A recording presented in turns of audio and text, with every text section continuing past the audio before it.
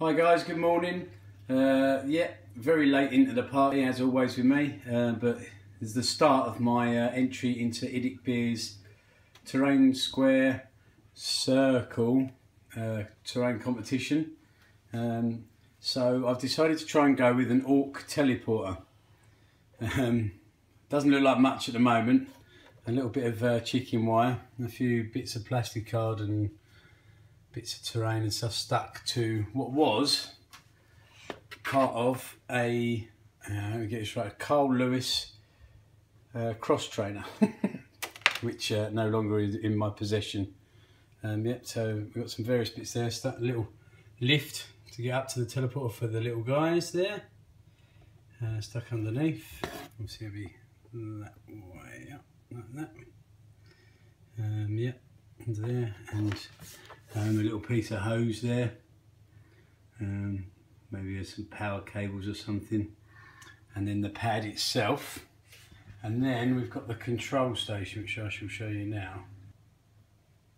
Okay, and here we have the start of the control station, which is like the gun which produces the power, which creates the teleportation. Uh, just a cake board.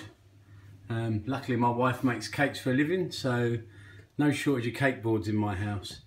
And then we've got a control station there, which is going to have, I'll show you later, uh, a little Ork sitting on top of there, controlling the whole show. And a little bit of flooring, just all made out of plastic card and bits, and then I've got some glyphs and various bits of stuff all stuck around the outside to make it look as ramshackle as possible. And these are the legs from the Sky Shield landing pad um, but I didn't use the legs on my Sky Shield pad um, as you last year's terrain competition. Uh, I set it on top of some rocky formation and a bunker. Um, and here we got a fan from an old uh, computer. There with the vents on the side. A little ramp which is the back of a truck I believe. Going over some that's not glued down yet. I don't know if that's going to go there some tubing, um, another part of an old dishwasher or washing machine cable going up, little platform there a little ladder going in for some maintenance. And then there's the gun itself which creates the ray for the teleportation. Uh, polystyrene ball, uh, the second bit here is a wheel from a uh, from that running machine or that cross trainer. A couple of pieces, not sure what they're from, uh, possibly battle wagons. Uh, a cap from a washing liquid bottle. And then this is part of the comms relay, I think it is. It comes with the Aegis defence line glued on there.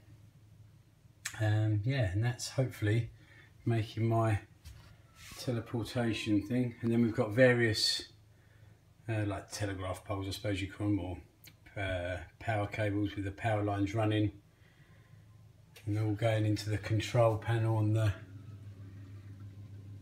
the control deck there and then up to the gun then down then here into the fan and then hopefully here I'm going to have uh, a fuel source maybe a, an old tin can or something like that. It's going to be the where the fuel comes from with a few barrels scattered around it and various bits. And then I'll show you the guy sitting in the control seat. Alright guys, and then here we should have the guy who's going to be the Ork sitting in the control seat. So it's an Ork gunner guy sitting in uh, what's the bit off the back of the truck I think is. There's the wrecking ball on it and I've glued the top of a Dakka jet to the back and some exhausts on the side from a Dakka jet um, to make it look like he's in a powered hot seat. That's going to be fixed to that bottle cap thing there. And then, if you want focus, and we're going to have some legs from, I think it's from the Icarus Array cannon from the Aegis line. Um, something like this, I'm not sure exactly on the spacings something like that glued around as stabilising legs and then out the front here my idea is to have a large crane piece coming out up, which then controls the power levels of the uh, of the uh, teleporter.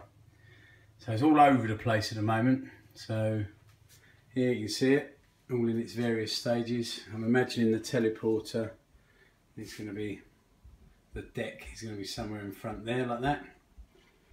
Um, yeah, I'll keep you posted. I'm going to crack on painting and uh, see how far I can get. And uh, I'll speak to you soon. Cheers guys.